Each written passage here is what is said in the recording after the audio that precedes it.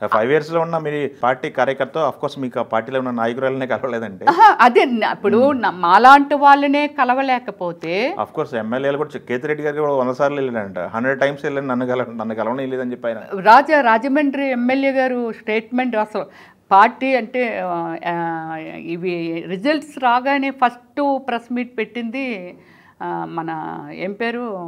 రాజమండ్రి జక్కంపూడి రాజా గారు Hmm. MLA. మ్మ్. ఆయన అదే అన్నారు.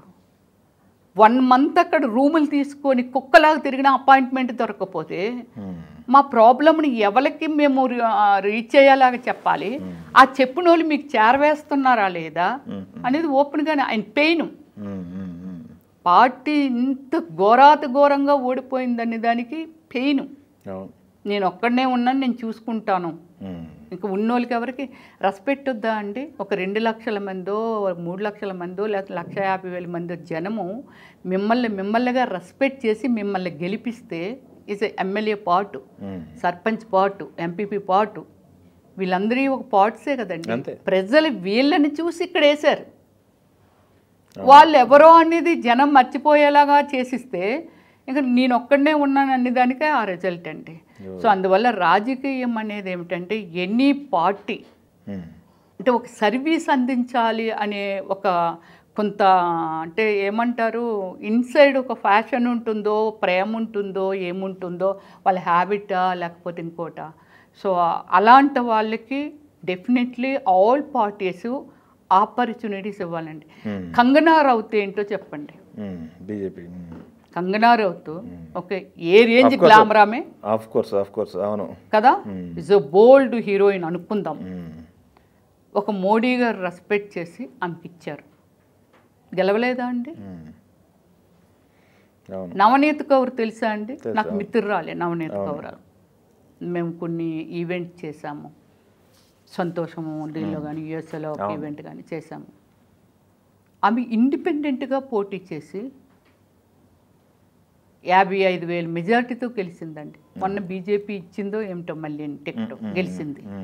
అంటే వ్యక్తిగతమైన ఒక లీడర్ ఎలా తయారవుతున్నాడు అండి ఒక డాక్టర్ అయి ఉండాలి ఒక కూలోడు అయి ఉండాలి లేకపోతే ఇంకోటి అయి ఉండాలి లేకపోతే వ్యాపారవేత్త సంథింగ్ అనదర్ ఏదో ఒక ప్రొఫెషన్ అయితే ఉంటుంది కదా వాళ్ళకి. ఒక రైతు అయి ఉండొచ్చు కాదు ఇందాక మీరు నవ- నవనీత్ కౌర్ అను కంగనా రనౌత్ గురించి చెప్పారు. మీ వైసీపీలో రోజా సీట్ ఇచ్చారుగా మంత్రిని కూడా చేశారుగా? మరి ఆమె ఆమె కూడా సెలబ్రిటీనే కదా? అదే మీరు నచ్చట్లే సెలబ్రిటీలు నచ్చదని చెప్పడం అనేది ఏం కాదు. మన వినికిడండి. నేను నా చెవుల్లోని ఎలా అంటే కర్ణబేరు లేదనుకోండి అంత డైరెక్ట్ వెళ్ళిపోవడమే అవి ఆ వర్డ్స్ ప్రతి ఒక్కడు ఇదే ఇదే వర్డ్ యూజ్ చేసేవారు ప్రతి ఒక్కరు. ఆ సినిమా వాళ్ళంటే అంత పెద్ద ఇష్టం లేదండి. ఒకటి ఇప్పుడు నాకు నచ్చిన డ్రెస్సు. నా నా నన్ను నేనే ప్రైవసీగా చూసుకోలేకపోతే నేను ప్ర అంటే ప్రజల్లోకి వచ్చో మార్కెట్లోకి వచ్చో ఒక ప్రైవసీగా నేను ఎలా ఉండగలను? నువ్వు చెప్తే నేను చేస్తే మరి నా ఫీలింగ్స్ నేను ప్రజలకి ఇది ఇవ్వాలి ప్రజలకి ఇది చెయ్యాలి నా పరిధి వరకు నా పరిధి వరకు నా- నేను ప్రజల కోసం నేను ఇది అవ్వ- అవ్వాలి ఒక దీపం అవ్వాలి అంటే ఒక వెలుతురు అవ్వాలో లేకపోతే ఇంకోటో ఇంకోటి ఇలా క్రియేట్ చేయాలో ఇస్ అ మై టాలెంట్. నా టాలెంట్ నీవు ఓన్లీ ఏమి ఇవ్వాలి? బడ్జెట్ ఇవ్వాలి అంతే ఓహో నీ నియోజకవర్గానికి అమ్మా ఇది కావాలా? ఇది నిజమా? అబద్ధమా? నువ్వు ఇచ్చిన తర్వాత వీళ్ళు చేశారా లేదని ఒక అబ్జర్వేషన్ లేకపోతే పిల్లల మీద అబ్జర్వేషన్ పేరెంట్స్కి లేకపోతే పిల్లలు ఎలా తయారవుతున్నారో చూస్తున్నాం కదండి. ఎందుకు ఆ జాగ్రత్త? నడిచి అడుగులేసే పిల్లలు కూడా పడిపోతారు అమ్మమ్మని అలా జాగ్రత్తగా మనం అడుగులు నేర్పుతున్నాం కదా.